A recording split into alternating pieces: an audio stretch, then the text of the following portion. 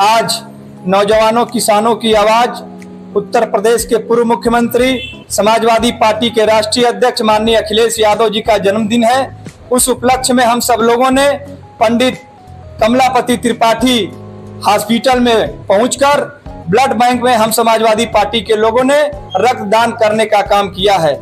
इससे गरीबों का भला हो, हम सब लोगों, समाजवादी पार्टी के लोगों का रक्त, ब्लड गरीबों के शरीर में जाए और उनका भला हो इसी को लेकर के और समाजवादी पार्टी के राष्ट्रीय अध्यक्ष जी को मजबूती मिले उनकी दीर्घ आयु हो। हम सब लोगों ने कामना किया है। हमारे साथ मुसाफिर सिंह चौहान जी पूर्व चेयरमैन औसाफ अहमद गुड्डू जी नफीस गुड्डू सुदामा जी समा, तमाम समाजवादी पार्टी के नेता उपस्थित हैं। सभी लोगों ने नौजवानों ने नौजवानों ने रक्तदान करने का काम किया है। कई लोगों ने रक्तदान किया है। अभी तक 21 लोग लोगों ने ब्लड अपना दे चुका है।